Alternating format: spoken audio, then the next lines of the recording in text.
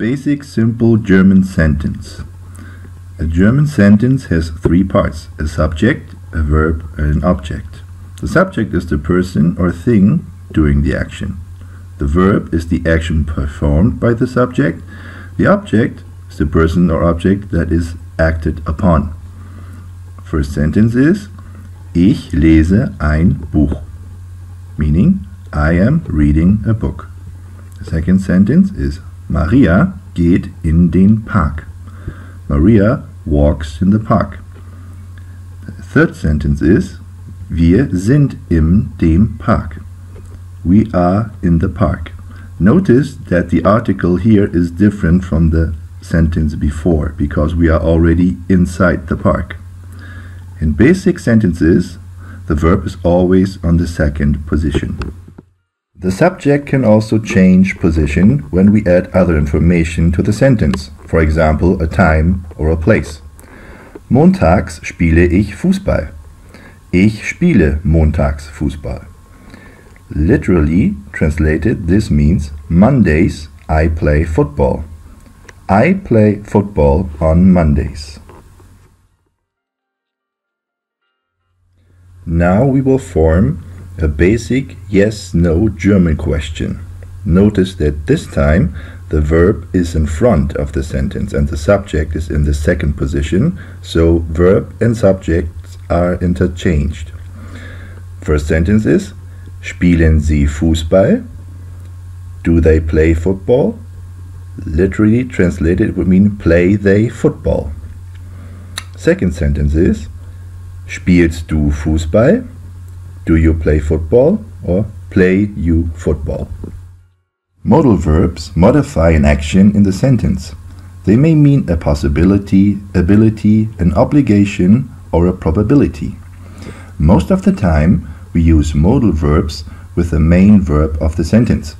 The main verb of the sentence is in its infinitive form, or main form. This means that we do not conjugate them. Lastly, the infinitive verb is always at the end of the sentence. We will see this later. For now, let us read these common modal verbs. Müssen means must. Muss, musst, muss. Müssen, müsst, müssen, müssen. Können means can, kann, kannst, kann, können, könnt, können, können. Dürfen means be allowed to.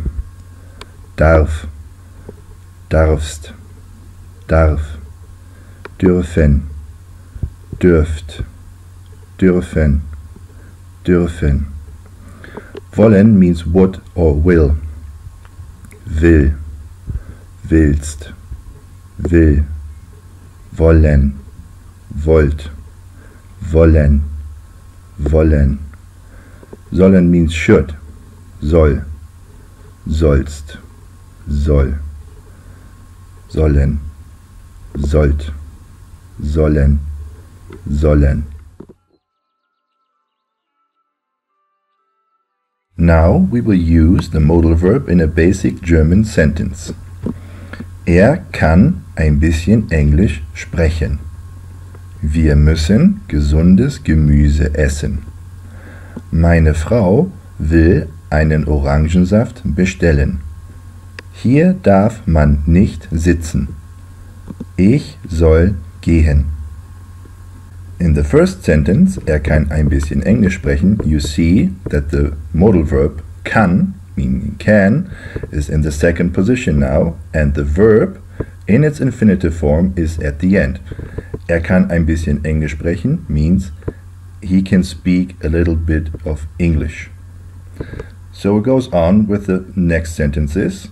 Wir müssen gesundes Gemüse essen means we must eat healthy vegetables. Meine Frau will einen Orangensaft bestellen.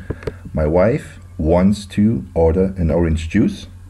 Hier darf man nicht sitzen, meaning you are not allowed to sit here. And ich soll gehen, meaning I should go. Let us hear some of the words we just learned used in sentences. Angela kann tanzen. Angela can dance. Here you have a modal verb, can or kann, and notice that the verb, the main verb, tanzen, is in its infinitive form. Kann Angela tanzen? Can Angela dance? In this question, you see now that the verb, the modal verb, is in the front position and tanzen is at the end. The cat is not allowed to eat that. Die Katze darf das nicht essen. Notice as before, we have the modal verb is not allowed to, darf, and the infinitive is at the end again. Wir müssen Deutsch lernen. We must learn German. Same principle as before. You have your modal verb and your infinitive at the end. Müssen wir Deutsch lernen? Must we learn German? Question again. So inversion, the modal verb is at the beginning and the infinitive at the end. Die Mutter geht in den Park. The mother is walking to the park. Basic German sentence, a subject, a verb, and then the object. Die Mutter und das Kind gehen in den Park. The mother and the child are walking to the park. Same thing here. We have two subjects, die Mutter und das Kind, then a verb and the object in den Park.